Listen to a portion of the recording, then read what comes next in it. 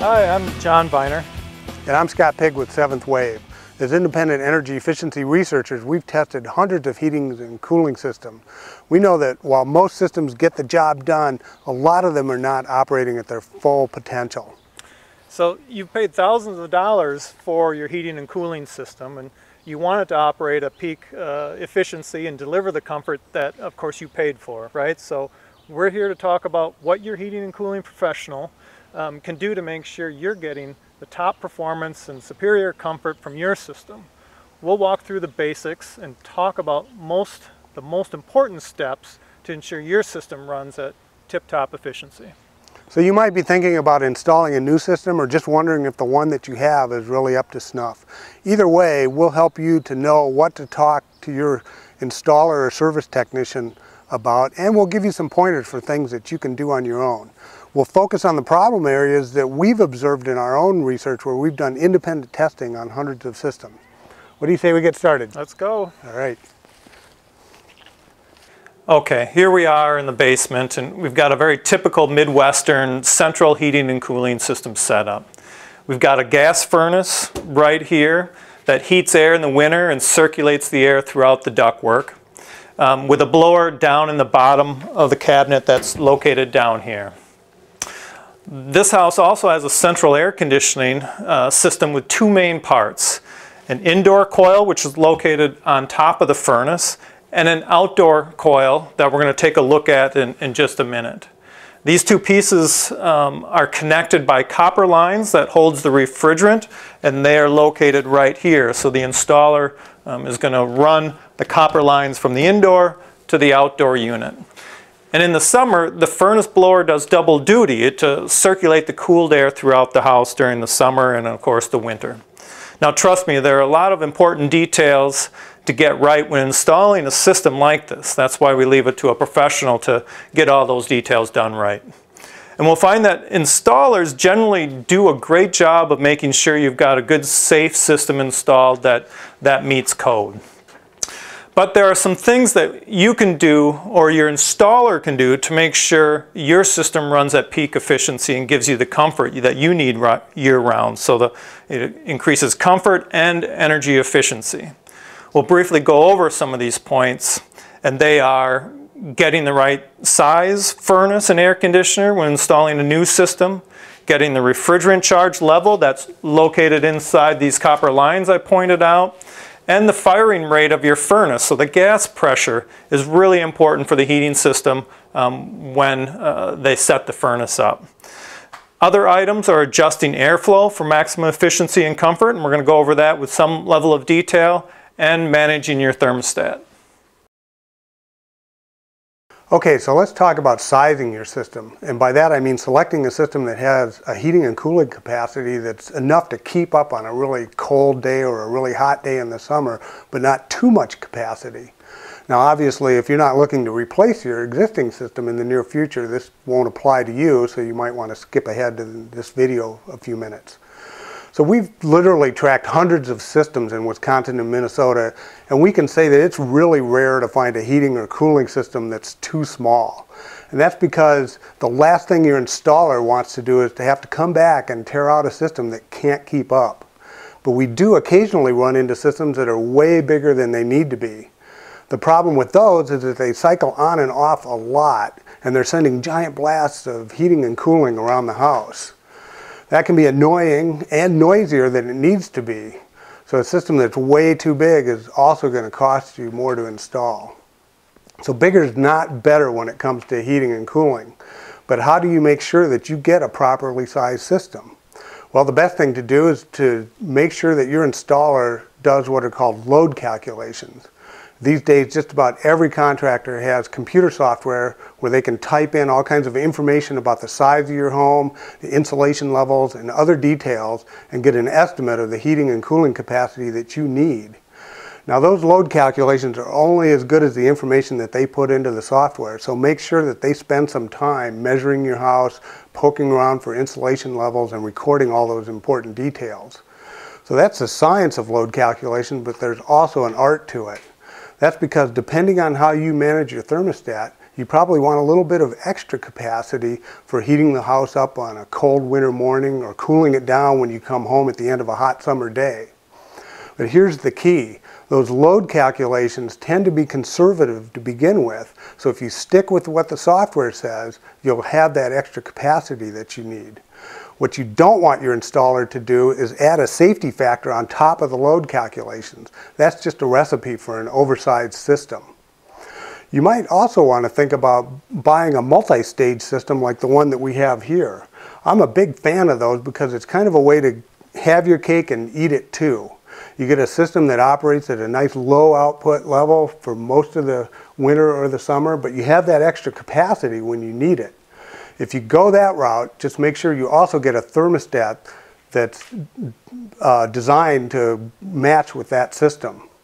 Okay, so let's go outside and take a look at the air conditioner now. Here we are at the outdoor unit part of this air conditioning system. You'll notice that we have two condensers. This home happens to have two air conditioners.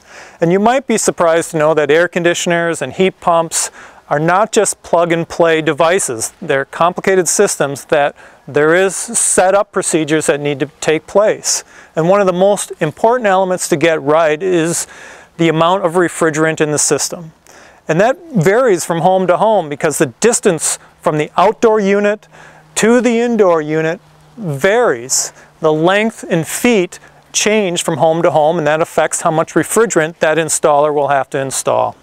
If there's not enough refrigerant in the system, it won't produce its full cooling capacity and its efficiency will go down and there may be some discomfort problems. On the other hand, if there's too much refrigerant in there, it will usually put out its full cooling capacity, which is good, but it will use more electricity than it really needs and that also hurts efficiency. So top, for top efficiency, you want that refrigerant charge to be just right. Now we've tested literally hundreds of systems through our research and what we've seen that it's not common for air conditioners to be overcharged, to have too much refrigerant. But undercharging is actually pretty common. We find that two out of every three systems that we look at and test need some sort of adjustment to the amount of refrigerant. They're usually not off by a large amount and getting it right usually means an actually 5% boost in efficiency. But we've seen systems that have been way off and sometimes a 30 to 40% performance jump in efficiency from correcting that amount of refrigerant has occurred. So the refrigerant check is definitely something you want to make sure that your installer and service professional does for you. It's especially important for older systems because their performance falls off, their efficiency drops the most when the amount of refrigerant is not right. So how do you make your system have the right amount of refrigerant in it, you just want to make sure that your service technician does what's called a superheat or a subcool test. So ask for that when your system is installed. Now that that sounds like something out of a comic book, superheat or subcool, but it really just means that they put a set of gauges on to measure pressure and temperature in the system, something like this. It takes refrigerant pressure temperature in a couple of different points while the system is running. That will tell them whether they need to add or remove refrigerant to keep the charge just right. Once it's tuned up for refrigerant and it's just right, it shouldn't need to be adjusted again. This tune-up step is something that systems of any age can benefit from it. It doesn't need to be completed on an annual checkup, but once it's done, it should be set and left alone one thing to keep in mind is that this test can only be done when your system is running and when it's reasonably warm outside. So if your air conditioner or heat pump gets installed in the winter or when it's really cold, they really need to come back in the spring to do this test. On a cool fall day like today, we're right on the borderline of being able to test this system. Also, since we're talking refrigerant, on the installation, the service professional needs to make sure that those refrigerant lines on the inside are clean and all the air and moisture are removed. And as long as we're out here, I'll point out that this system works best when the outdoor unit, the condensing coils, are clean and have plenty of airflow um, space for airflow up and out of this unit. Having a unit like this partly, partially enclosed with this deck can compromise the efficiency a little. And if these coils happen to get dirty, the combination of dirty coils and the deck blocking the airflow, it can definitely hurt the efficiency.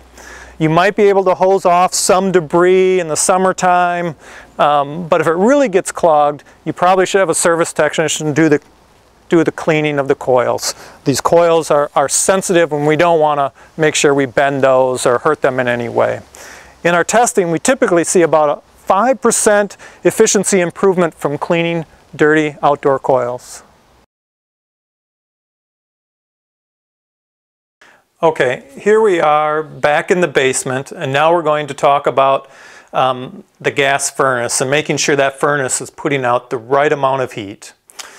This gas valve, which is right here in the furnace, is kind of the heart of your furnace. Really important to get that right and make sure that it is properly adjusted um, for making sure that your furnace is producing the amount of heat that it was designed to do.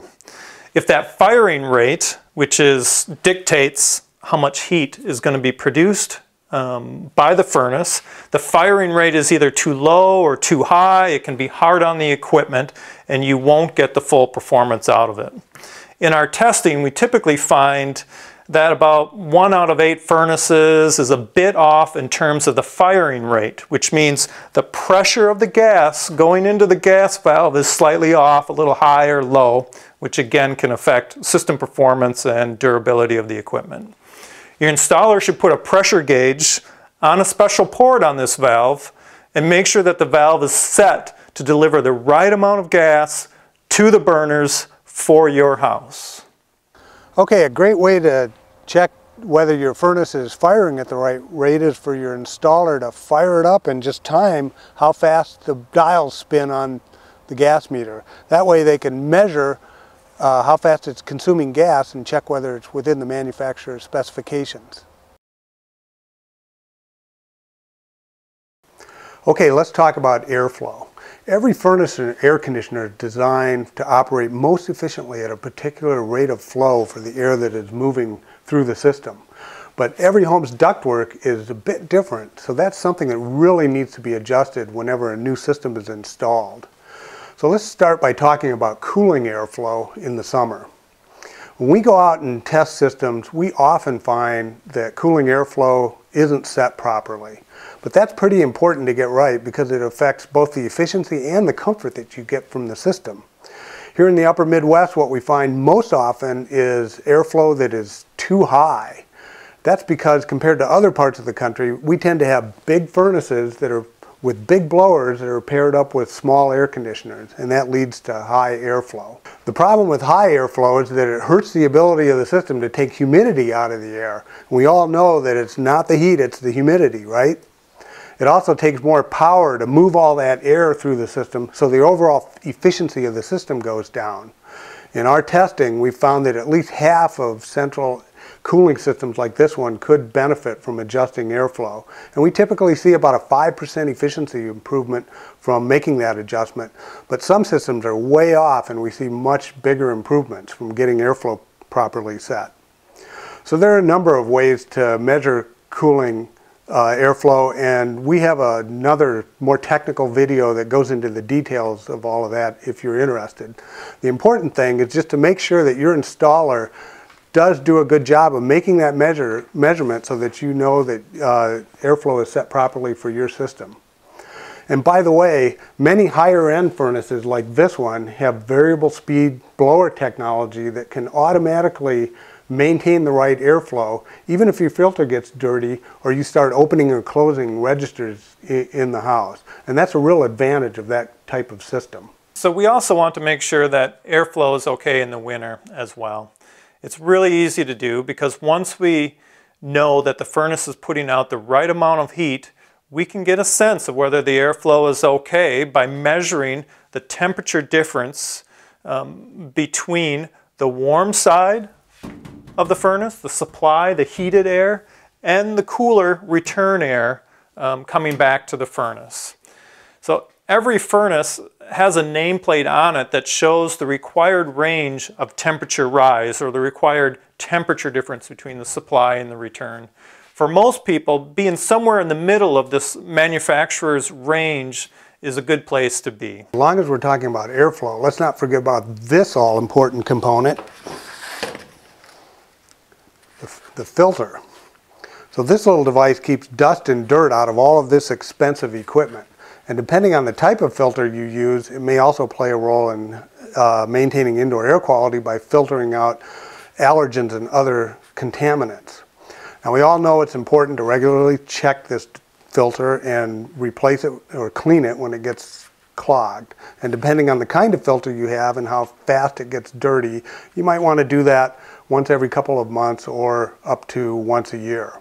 But what I really want to talk about today is how the type of filter that you use can affect system performance. And that's a conversation that doesn't always happen between consumers and installers or service technicians. So this is your basic disposable hardware store filter and it's perfectly fine for protecting the equipment, but it doesn't do anything in terms of filtering out things that you might care about in terms of indoor air quality contaminants. So for, for that kind of a job, most people go to a filter that has a higher filtration efficiency, like this one. And there are a number of different rating systems for measuring the efficiency of filters and taking out contaminants. The most common one is called the MERV rating, and we'll talk about that today. So that this filter has a MERV rating of 2 on a scale of 1 to 16, but this one has a MERV rating of 8, so it, it takes out particles that are much finer than your basic disposable hardware filter. But here's the thing, as you go to a higher and higher MERV rating filters, it gets harder and harder to push the air through each square inch of the filter media. Now, furnaces like this high-end variable speed furnace will compensate for that by ramping up their blower speed and to maintain airflow while still pushing air through this finer grain material. But many systems, and most older systems, will not do that. What will happen if you put a high MERV filter into one of those systems is that your airflow will drop and it may hurt your system's performance. So it's really important to talk to your installer or service technician about the type of filter you want to use and have them check and make sure that airflow is okay uh, with, with whatever filter you select. Now, if you're installing a new system, there is a way to kind of have your cake and eat it too. And that's by having a wider filter slot installed at the time that the new system is put in so that you can use a filter like this. So this filter also has a MERV rating of 8, just like the one we were looking at earlier, but you can see that it's much wider. This is a 4-inch filter compared to a 1-inch filter that we were looking at before.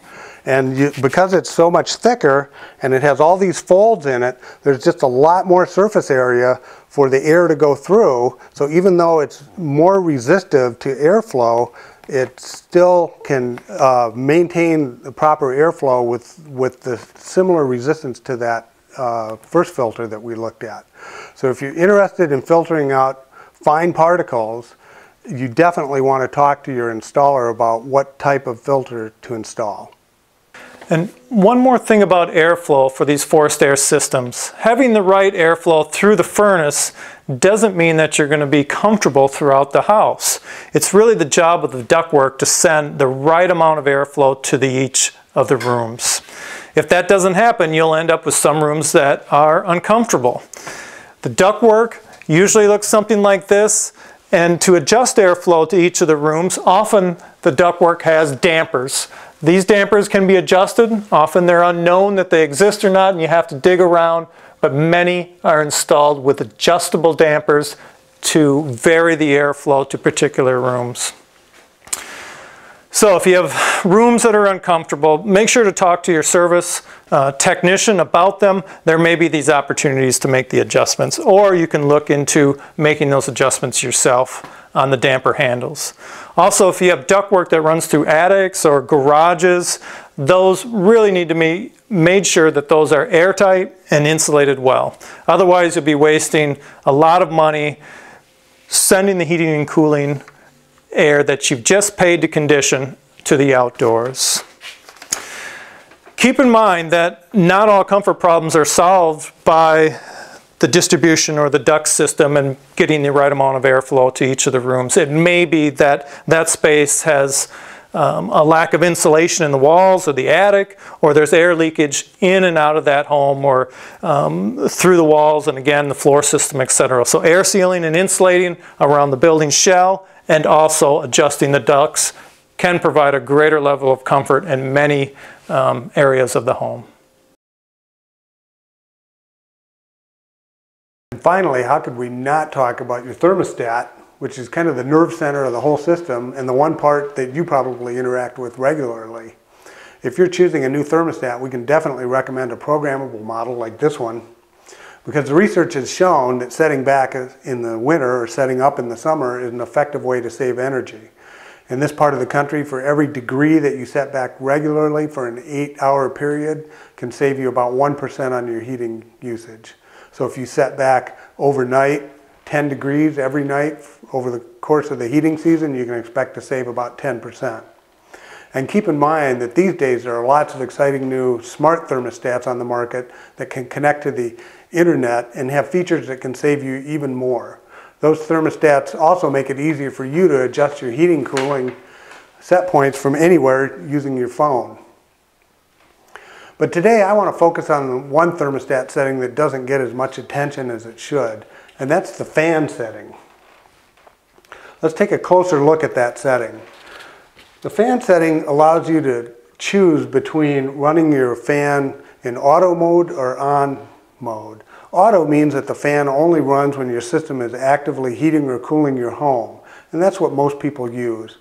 But there's also a setting for the fan that's called on.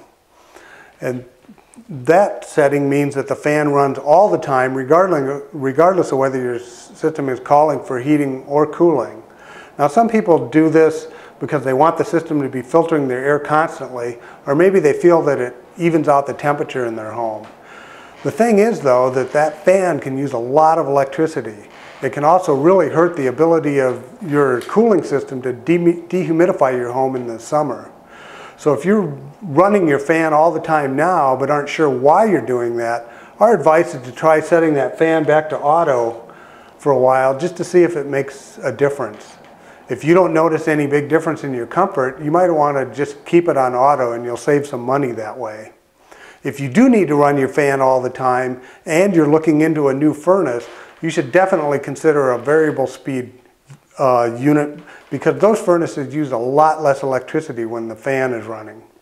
You could save several hundred dollars a year worth of electricity using a variable speed furnace compared to a conventional one. All right, let's review a, a few tips for things that you can talk to your installer or service technician about to make sure your system is running in top form. Number one, if you're buying a new system, make sure your contractor sizes it with load calculations and sticks to what that calculation says. Two, have them check refrigerant charge with a superheat or subcool test. Three, check the firing rate of the furnace, the amount of gas pressure to the furnace. It's going to make sure it's producing the amount of heat it was designed for. Another is to check for proper airflow. It's really important to make sure the airflow through your system in both heating and cooling are adequate. Next, let your contractor know about problems you have with your heating or cooling systems for uncomfortable rooms because they might be able to balance the system or adjust those dampers that are going to correct that comfort issue for you. And here are a few things that you can do on your own talk to your contractor about the type of filter that you intend to use and make sure you change it regularly. Make sure the coils on the outdoor unit of your air conditioner stay, stay clean. And you can set back your thermostat and be aware of how you use the fan settings on your system. Well, we hope you'd enjoyed this video and uh, thanks for watching.